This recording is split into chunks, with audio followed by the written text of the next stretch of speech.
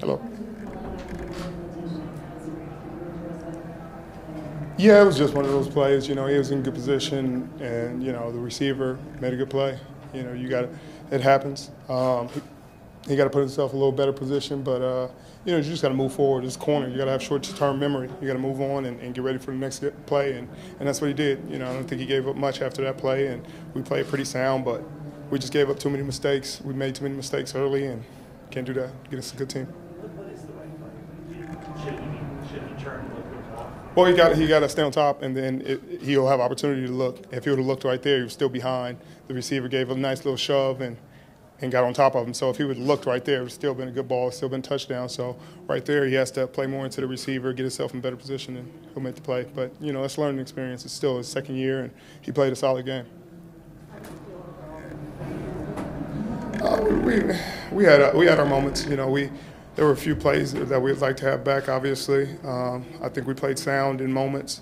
I think we, we took too long to get comfortable out there. Uh, you know, there was moments that we, we could have been more sound, we could have been more disciplined and got off the field. There was a third and long or something that we let Kirk run for that we got to have. Um, you know, those are the plays where everybody's covered and, and we've, we've executed the play where we got to get off the field. And, and, they had a couple of those. And, you know, hats off to Kirk for being ingenuitive and, and making a play. But, uh, but those are things that we need to learn and in the future we'll get better for.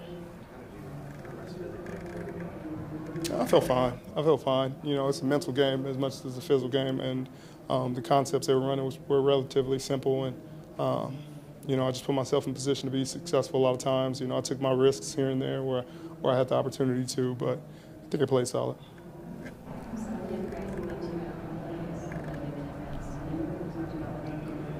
Not necessarily.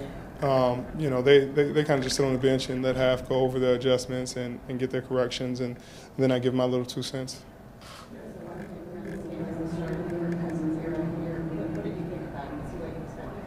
Well, I mean, he's been playing at least as a rookie, um, so he's, he's what he's always been. He, he's very efficient. Um, he doesn't make a lot of mistakes. Uh, you know, he's poised. Uh, he doesn't get rattled. He doesn't necessarily take many sacks. And today was kind of odd in that regard because he took a couple. Um, but you know, he's accurate. He's a good quarterback. He was he was fine. He was fine. You know, it's, it's middle linebacker is one of the toughest positions to come in as a rookie and, and play and be effective, and I think he did an admirable job. Because I told him we get him the ball, and I wanted him to go score.